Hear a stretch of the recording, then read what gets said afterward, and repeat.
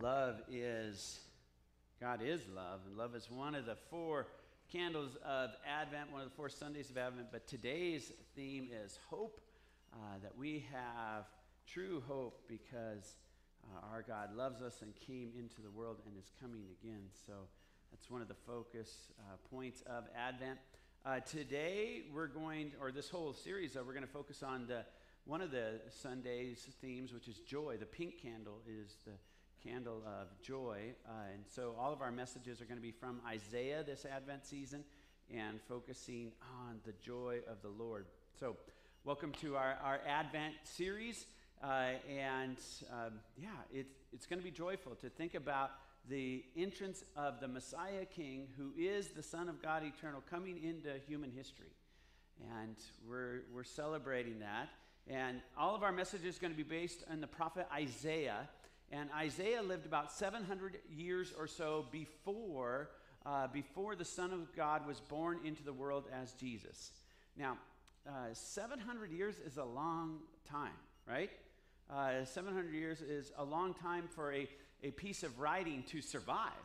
Okay, our, our Constitution isn't anywhere near that old, right? Uh, but 700 years uh, from when Isaiah fo- first spoke these prophecies, and then they were written down and they were passed down, and and uh, the people of, of Israel, the Jewish people, heard them and believed them over the years and decades and centuries, right? And, and many writings don't survive that long, right? And, and, I'm just talking about the time between Isaiah and Jesus, but and then, then there's, there's been 2,000 years after that to, to our time, right? So I, I doubt my sermons are going to survive 2,700 years, but Isaiah's sermons filled with the Holy Spirit, his writings survived and were passed down. And, and so when we come to uh, the scriptures in, in, Isaiah, or any of the scriptures really, but we're coming to these scriptures, we're entering into history. And, but a special kind of history, a, a spirit filled, God's spirit entering into these lessons and these messages and these, these messages of what is to come, right? Of God's future joyful plans that he has for humanity. So it's, it's really easy to tune out on scriptures and not appreciate what we're hearing or, or how big a deal it is.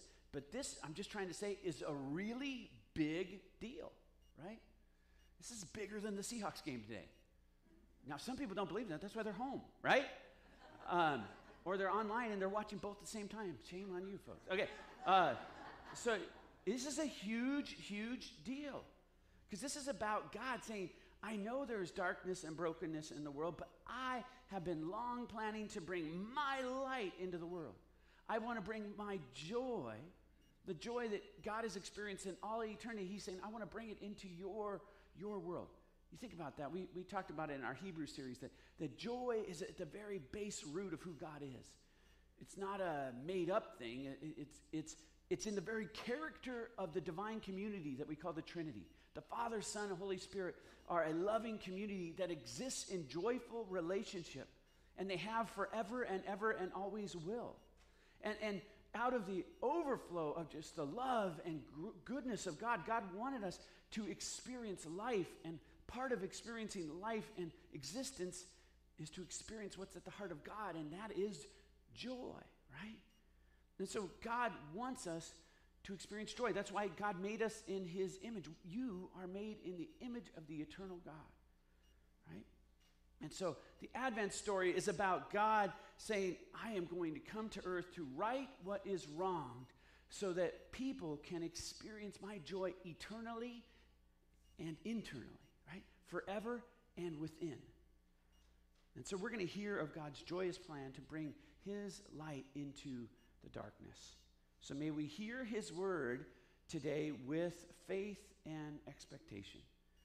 So let me pray. Lord, may the words of my mouth and all the meditations of all of our hearts, Lord, may they be pleasing and acceptable in your sight. For you are truly our rock and our redeemer, our author and our perfecter. You alone should we rightly fear. You alone should we fully follow. You alone should our lives be founded upon. And, and you have the joy that every human heart really needs, the hope that every human heart really longs for, the love that, that, that nothing else can satisfy us like your love, God. and the peace that you alone can bring. So, Lord, may we have ears to hear your, your, your ancient promises that are as live today as, as when you first had Isaiah to say them. May we have ears to hear and eyes to see and hearts that really rejoice at, at, your good news. And may we believe it's not just history, but may we believe it's for us today. And may we, like you overflowed and, and chose to create us with your love, may we in our lives overflow and choose to share the goodness that we've experienced with you with others, Lord. May you do that in us and amongst us, I pray in Jesus' name. Amen. Amen. So, some context on this scripture before we, before we hear the scripture. Uh, some context is it, from Isaiah. So the, the, the, we've, I think we got a map that we're going to put on screen. So in, in Isaiah's time, 700 years or so before Jesus, uh, Israel was the 12 tribes of Israel that we hear about in the Bible are really divided north and south into Israel, 10 tribes up in the north, and then into the southern kingdom, Judah, where down where Jerusalem is. And so there's 10 king or 10 tribes up north, two kings down south, and then there's some rough folks in the neighborhood. Anybody had a rough neighbor? Well, the, the people of Israel have had some really rough neighbors. And at this time, there was a really rough neighbor named Assyria. And Assyria was taking captive the northern kingdom. Now, we, we know from the ancient scriptures that the northern kingdom have been disobedient, and there was reasons that they were um, getting punished and things. But so the ten tribes of, of the northern part, of, which was called Israel, are taken captive by Assyria, and then those become the lost tribes of Israel, if you've ever heard that phrase, the 10 lost tribes. And they're never really organized completely again, right? You hear of people from those tribes in the scriptures, but, but they're never really a nation again. And this is around in the 700s. And so th- this is a nerve wracking time if you're, if you're like Isaiah, you're working for God. Uh, in the southern part of the kingdom, and you're hearing about uh, bad things happening up in, in the north. Now, the, the north, the, the folks in, in the 10 tribes up there, they had not necessarily been nice to the folks of Judah. There had been, you could say, civil war between the tribes, uh, the Jewish tribes. There had been difficulties. They're, they each had different kings, and uh, so there had been pain and loss between them. So this was a, a difficult time where not all of God's people were being faithful. And part of, part of Isaiah's ministry in the southern kingdom was to say, hey, we need to be obedient to God and follow him, or the, the fate that happened to, the, to our brothers and sisters up north could happen to us. Assyria could come and capture us or destroy us. And so there's all kinds of challenges or issues going on. Will we have faith in God despite the difficulties in the world around us? Will we be obedient to God despite uh, uh, Assyria coming in with their religion and their demands? Will we choose to be obedient to God no matter what? Will we cave into fear, right? Will we just surrender? That was, that was one of the northern strategies that ended up not even working out, obviously. Uh, are we going to cave in, right? And so lots of issues today. You know, we still have some of those issues, right? Will we trust God in the midst of difficult circumstances? Will we obey when there's temptations from the outside to not? Will we, will we live lives of fear or lives of faith? Will we surrender or cave in to the world around us? Or will we, will we with God's leadership and help, stay faithful and true? So, all those issues are real and present in, in the time that Isaiah is serving as a preacher or a prophet. So, tension and decisions uh, that people are being tempted with will we stay true to the God who has led us? Um, so, with all of that as background, we're going to dive into the scripture, Isaiah chapter 9, verses 2 through 7. The people who walked in darkness have seen a great light. Those who dwelt in a land of deep darkness, on them has light shone. You have multiplied the nation, you have increased its joy. They rejoice before you as with joy at the harvest, as they are glad when they divide the spoil. For the yoke of his burden and the staff for his shoulder, the rod of his oppressor, you have broken as on the day of Midian. For every boot of the tramping warrior in battle tumult, and every garment rolled in blood, will be burned as fuel for the fire. For to us a child is born, to us a son is given, and the government shall be upon his shoulder, and his name shall be called Wonderful Counselor mighty God, everlasting Father, Prince of Peace. Of the increase of his government and of peace, there will be no end. On the throne of David and over his kingdom to establish it and to uphold it with justice and with righteousness from this time forth and forevermore. The zeal of the Lord of hosts will do this. This is the word of the Lord.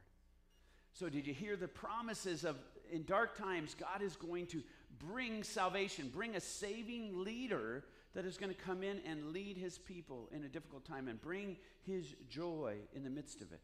So, there were these deep promises uh, given that God gave through the prophet Isaiah, and they really mattered. So, I want to talk about these, these promises and what, what they would have been hearing at the time.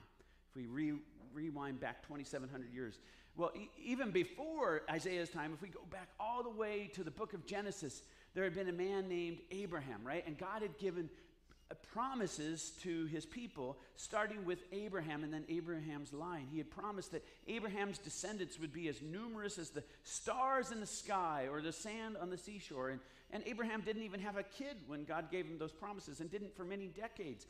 But God said to Abraham, You are going to have nations come from you, and, and out of you is going to come a nation that will be a blessing to all the nations. And so he gave those promises to Abraham and that there'd be this kingdom that would be a light to all the world. And then God did that. He formed the, the Hebrew people into uh, a kingdom, a kingdom called Israel. And We fast forward to that time where, where God formed a kingdom that was different or set apart in the world. They, they worshiped one God and they were trying to be a blessing to all the nations, but they struggled because they're human beings, right? But they, they had a good king uh, about 300 years before uh, the time of Isaiah, or, or a thousand years before Jesus, but this king named David. And David united the tribes of Israel and he, he founded uh, the capital city of Jerusalem, or founded Jerusalem as the capital city of Israel. And in his reign of 40 years, it was, it, it was a good and faithful kingdom, right? And, and people were meeting, worshiping God, and they were starting to be a blessing to the nations around them right? And at the end of David's life, or near the end of his life, he received promises that a king would come from his line. You can read about this in 2 Samuel 7. But David, this good king after, uh, God, uh, after God's own heart, received promises that from his line would come a king that would reign forever, right? And, and so these promises that David heard were then passed down to the, the Jewish people, and they believed them. They were recorded in their history and, and passed down. But you go from David then back to Isaiah 300 years later, people like Isaiah knew that that promise had not yet been fulfilled. That at Isaiah's time, the kingdom wasn't even united anymore, right?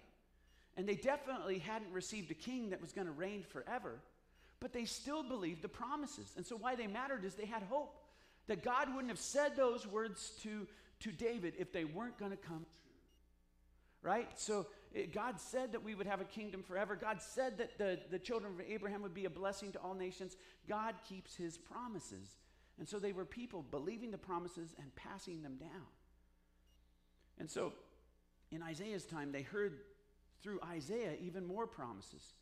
Right? Isaiah receives this, he prays and he, he receives this message from God that in these tough times, these tough times, eh, moving to the next slide, these tough times, they are hearing ongoing promises that, yeah, God is going to keep his promises, right? So we have tough times, but that doesn't mean God's given up or his word has changed. It says he's going to send a light in, in this time of deep darkness. There is a light in dark times. So Isaiah's message for that time from God is though, though Judah has fallen and, and though we have the same fear of this rough neighbor coming in, Assyria, we should trust that God has a joyful plan for us. Just like joy that will come when we have a really good harvest, he says. Or the joy that comes after you have a victory over an enemy and you get to divide up their spoils or the spoils of, of victory. We're going to have victory. We're going to have a joyful harvest. And, and what that means is God is saying to, to and through Isaiah that one day I'm going to break the control of the powers that are trying to have you live in fear. I'm going to take the burdensome yoke that, that gets put on you in this world, and I'm going to break it like a yoke that's on the back of an oxen or a yoke that even went on human beings sometimes to, to do work. He's saying, I'm going to take those, those burdensome yokes of the world, I'm going to break them. I'm going to take the staff and the rod that, that enemies use to keep you in control, uh, controlling measures of the world, and, and, and things that are used for violence, and I'm going to break them. I'm going to take the, the boots and the garments that have been used and dirtied in war, even with blood, and I'm going to burn them. And so Isaiah is getting a picture of, of God is going to come in and break the things that cause us to live in fear and shame and, and, take the things that are, that are the, the world's injustice and violence and the conflict and the war. And God is going to end this, right? He's going to end this. But how? Right? In this world of darkness with all these strong uh, world powers like Assyria at the time. Well, his, leader, his answer is a leader, and it's kind of surprising. He says, a child. Right? Let's hear that answer again of the one who's going to break all those things. He said, To us a child is born, to us a son is given, and the government will be upon his shoulders, and his name shall be called Wonderful Counselor, Mighty God, Everlasting Father, Prince of Peace. I believe in faith that this isn't describing a human king, that no human king could handle those titles, right? This is describing a divine king. And then it says, verse 7 of the increase of his government and of peace, there will be no end. And on the throne of David, of David and over his kingdom, to establish it and uphold it with justice and righteousness from this time forth and forevermore. The Spirit is telling Isaiah, reclaim that promise that a king, a ruler is coming from David's line that's going to reign forever. Not just a good king that's going to be in office for a few years or even 40 years, but something that only the zeal of the Lord could do a ruler that's going to bring in his peace forever. Right? So this is this is as they hear this, you know, I, how much of this they can receive at that time? I think they're receiving a lot of hope like, well, God's going to send a really good leader, right? And so at their time, I think they were probably thinking, God's the next king God is going to send is going to be really good. and you know what? The next king for Judah was really good. His name was Hezekiah, and he, he returned the people back to faithfulness, and he did bring a lot of protection, and he was good. But he wasn't mighty God, right? He wasn't God himself. He did worship God, but he was a human being, he wasn't perfect. And so after Isaiah is dead and gone, and Hezekiah is dead and gone, and history keeps moving along, these promises of Isaiah, they keep hearing them and believing them, and they keep saying, you know what? that wasn't just about Hezekiah, that was about something way bigger. And in the Jewish thinking, it came to be called the Messiah, the promised one, the one who is to come. And so, eh, you know, these promises come and they, they say, wait, maybe God's plan is he's going to send really a forever king. And so the Jewish people over the centuries kept praying for the Messiah to come, the Savior, the chosen one, the true rescuer. And then enter in Jesus, 700 years after Isaiah, right? That there were Jewish people and when that were, that were choosing to follow Jesus. One of the first scriptures Jesus read in public was from the book of Isaiah, right? And he basically tells them this it's now unfolding in your presence, right? And, and so Jesus comes and he, he lives this, this wonderful, perfect life, and then he dies a sinner's death on the cross, though he wasn't a sinner. And then he rises again, and hundreds of people saw him after he was dead. And, and then, so he has these believers, these first followers, and they look at him and they go, Here it is. He's the one. He fulfills all those promises that we've been praying about. And he's not just a man, though we know where his mother lives. He's something more than that. Maybe the stories about his birth are true. Maybe that's how we fulfill Isaiah 9. Maybe he is exactly mighty God. Maybe he's connected to the everlasting Father. Maybe, maybe he is truly the, the Prince of Peace.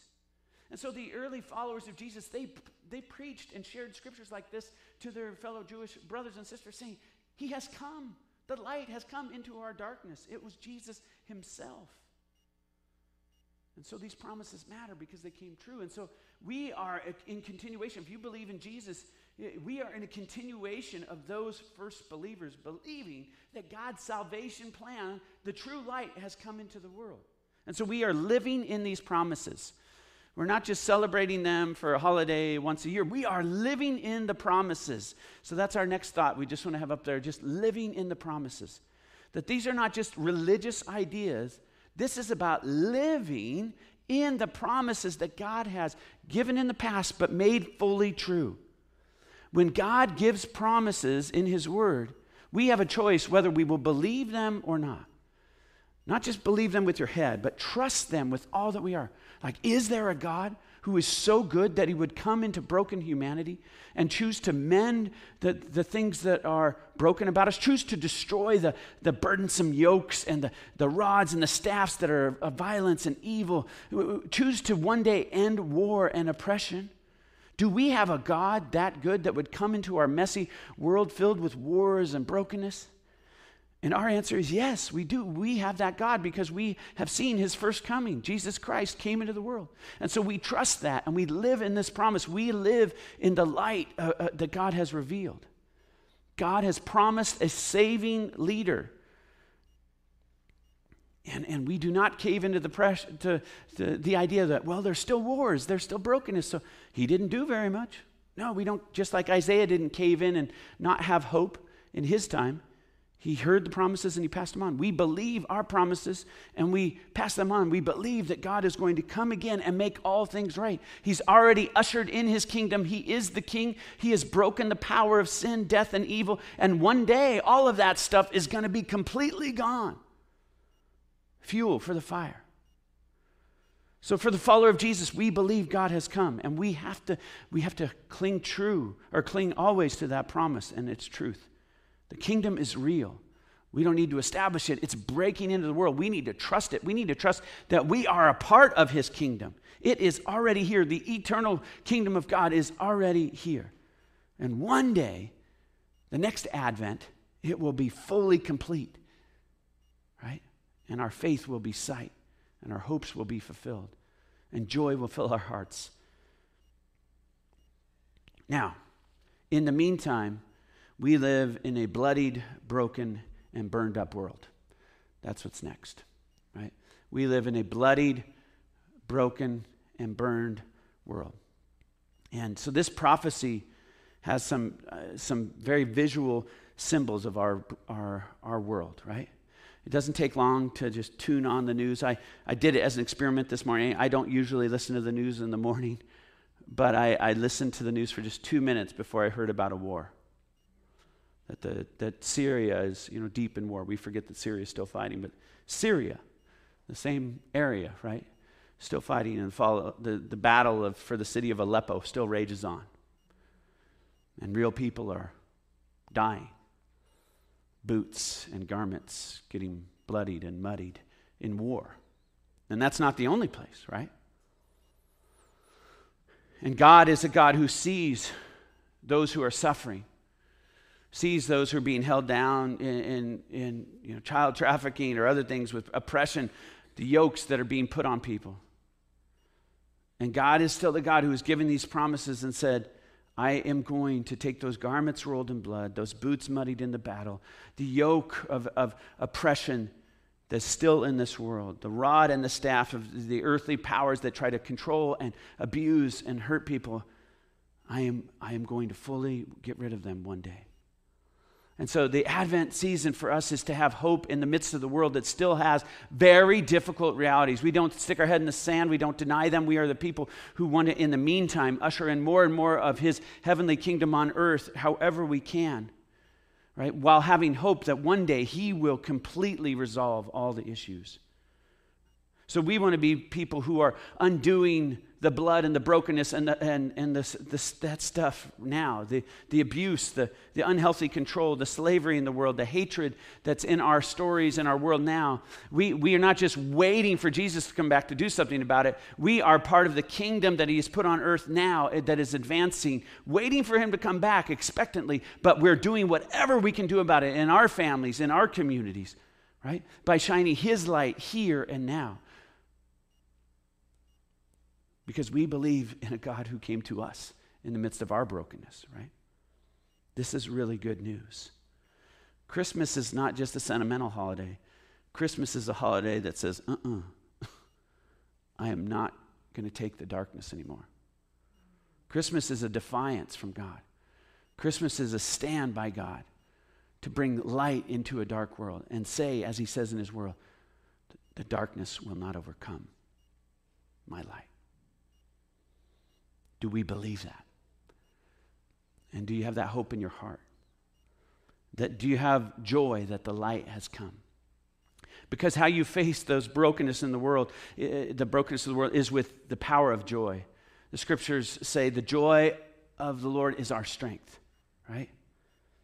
That's our strength. To face the difficulties of this world, we have, we have to have the joy of who Jesus is and what he's done. We have the joy that there is, there's a harvest that we get to see, a harvest that we'll get to fully understand in heaven, but we get to see lives change now. We get to see relationships restored. We get to see people coming back to faith and overcoming addiction. We get to see the joy of the harvest now. Then one day we're going to fully see it, but we get to start to see it now. We get to have the spoils of victory now right? The, uh, we get to have the joy of that now. We get to believe that God is, is helping us to be new in his kingdom now. And one day it will be forevermore. So I, I, pray for who's listening to this message in this room or in the future that, that everyone has had the joy of the victory of the Lord of Jesus in their life. But there's no way for me to know if everybody's had that yet. So I just want to ask the question Do you have the joy of the victory of the love of Jesus in your life? Is your life filled with overflowing of the joy that God loves us so much that He has come into this world to rescue us uh, from the darkness, to break these things that bind us? Do you have that joy overflowing? Now, there, there's kind of two options. If you're not, it's, we're not just talking about an emotion here. We're talking about that central character trait of God becoming a central character trait in you, joy. Now, if you, you aren't experiencing that in your life, there's kind of two basic options. One, you've never, you've never really received relationship with him. Or two, you have received relationship with him, but your, your Assyria or your challenges or your fear is kind of clouding over that joy. So I want to say, I want to speak to both of those briefly as we just wrap up and say, the light has come. If you don't believe in him yet, I want you to believe that the story is not too good to be true. It is the, the true good story that, that life exists because a joyful God wanted it to exist. A joyful God wants you to exist. A joyful God came down in the midst of our darkness and died on a cross for us, knowing that it was going to happen, so that he could forgive you and wash you and make you new and clean and make you able to live with him forever. It is that good. He wants that joyful story in your heart. If you haven't believed and trusted that story before and lived in that promise, do it today. And you can do it just by simply saying, Lord Jesus, I believe. I believe in you. I trust you and your story. And just by believing that in your heart and confessing that out loud to some believer today, you, you are welcomed into his family now and forevermore. And then for uh, someone who's saying, well, this joy stuff is good, and I've had the, the joy before, but I don't really have it now. We can pray like David prayed elsewhere May, the, may you return to me the joy of my salvation. Lord, the, the, the cloudiness and the darkness and the heaviness of this world sometimes tries to push down the joy of how good you are and what you've done. But Lord, may the joy of your salvation return to my heart. I just, if you, I just believe if you pray that with sincerity, God will give you back the experience of that, and He will let, he will let that light shine and overcome any darkness that's trying to dampen your joy parade in your life. Lord God, you, you are the God who is the God of joy. And you wanted us to experience the joy of your goodness, of relationship with you. But to do that, you had to endure the cross and despise the shame of it. But for the joy set before you, that's exactly what you did.